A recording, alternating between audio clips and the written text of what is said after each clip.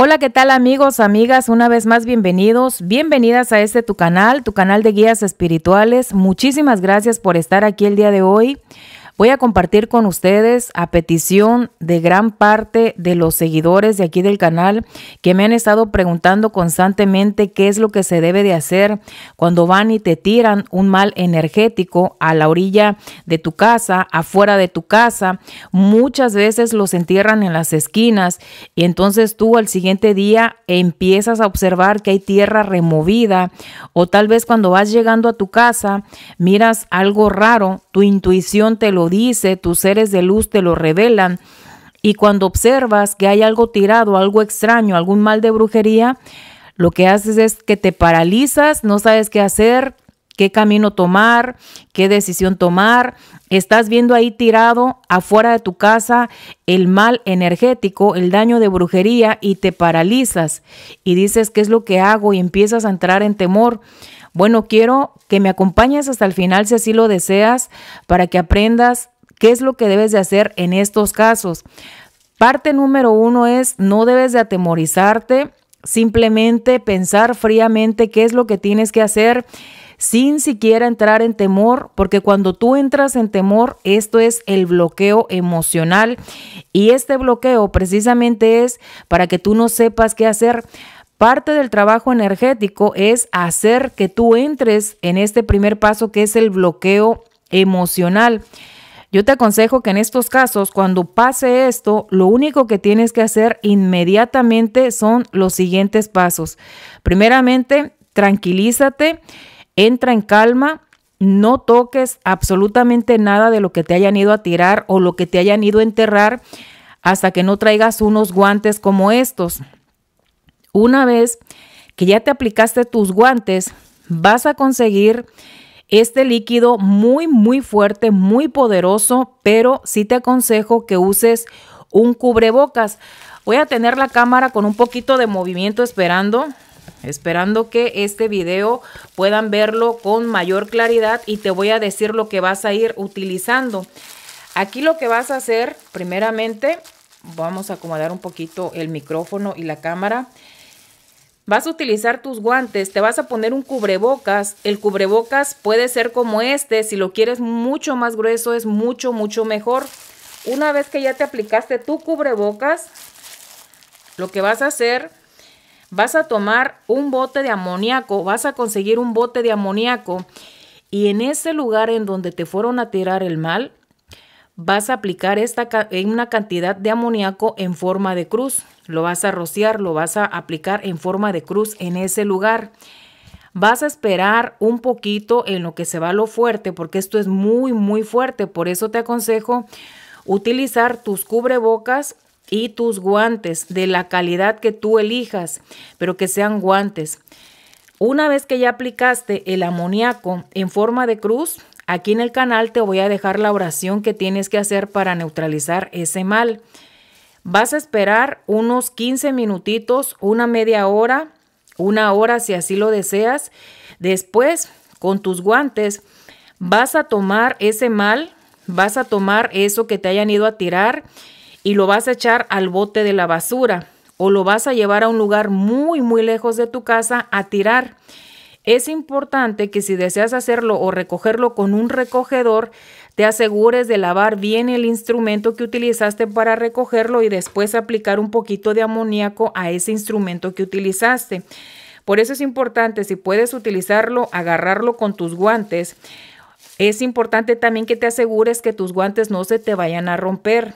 Aquí el mal que te hayan ido a tirar por ningún motivo lo debes de tocar con tu piel porque están ritualizados precisamente para que entren en contacto con tu piel y a partir de ahí entra el mal energético. Una vez que ya hiciste eso, vas a empezar a limpiar tu casa desde al fondo lo más que puedas hasta la puerta de, de tu casa, hasta el final, donde finaliza, toda, toda tu casa la vas a limpiar como normalmente lo haces y vas a, a trapear vas a limpiar bien el piso como normalmente lo haces y al final vas a dar una doble pasada. ¿Qué significa trapear? En cada país le llaman, tienen diferente nombre estos mechudos, mechones, trapeadores, mapeadores, como le llamen. Esto es lo que vas a utilizar para limpiar. Yo te aconsejo que compres uno nuevo. Tiene que ser absolutamente nuevo para que se limpie todo, todo el mal que te hayan mandado. Vas a utilizar un mapeador, una cubeta con agua, más o menos de esta cantidad. Vas a utilizar amoníaco, como ya lo mencioné, ahorita te voy a mostrar las cantidades. Vas a utilizar este Cloralex, de esta, de esta línea es el que yo utilizo. Vas a utilizar fabuloso o lavanda de este color. Es importante que compres el color lila o el color morado. Este es muy, muy importante que te asegures que sea de este color. Vas a utilizar un recipiente, una tacita para las medidas.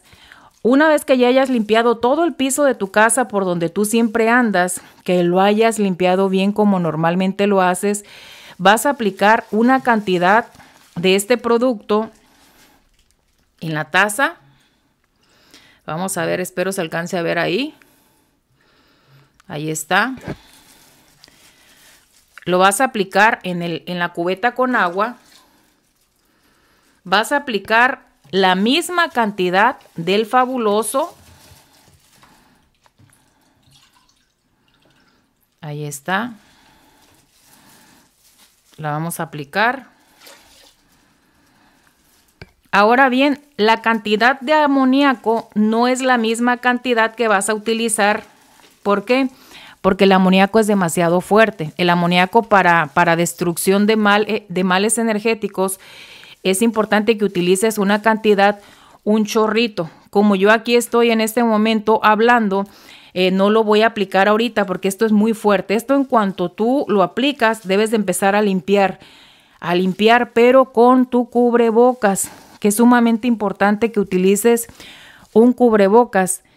Una vez que ya aplicaste todos los ingredientes, la cantidad de amoníaco, vas a aplicar un chorrito de esta manera que no vaya a ser demasiado, más o menos viene siendo como el cuarto de una taza, esa es la cantidad que tienes que aplicar. Y después que ya hayas aplicado todo, vas a agarrar el mapeador, lo vas a remojar. Una vez que ya esté bien, bien mezclado todo, esto es lo que vas a aplicar en todo tu piso, pero para esto tu piso ya tiene que estar limpio como normalmente lo haces. Y vas a empezar a mapear desde el fondo de tu casa hasta donde llega la gente, hasta donde está la entrada de tu casa. Vas a ir haciendo la oración que te voy a dejar aquí en el canal y vas a ir repitiendo la oración. Cada que se termina la oración, empiezas a hacerla de nuevo. Es importante que te mantengas en oración mientras estés mapeando, mientras estés limpiando, siempre hacia afuera, hacia afuera. Cuando tú ves y observas que esto está pasando en tu casa, te aseguro que ese mal que te fueron a tirar se le va a regresar a la persona que lo hizo. Aquí es una forma de neutralizar esa energía. Y recuerda bien, la energía es energía. Es buena o es mala dependiendo para qué hayan utilizado esa energía. Aquí, eh, cuando pasa esto, normalmente la persona que te hizo el mal empieza a sufrir todas las calamidades y tú vas a empezar, tú vas a saber, tú te vas a dar cuenta quién fue, porque a esa persona empiezan a pasarle cosas, empiezan a pasarle cosas, entonces el mal siempre se le regresa a la persona que lo envía, pero es importante que en cuanto antes hagas este ritual, que atiendas eh, inmediatamente el caso. ¿Por qué? Porque muchas veces dejan que vaya avanzando, que vaya avanzando, que vaya avanzando el problema y después es más difícil sacar el mal. Por eso aquí en el canal te voy a dejar la oración para que empieces a hacer la oración desde el momento que empieces a limpiar. Bueno amigos, si llegas hasta el final, muchísimas gracias. Espero que haya sido clara en cuestión a la explicación.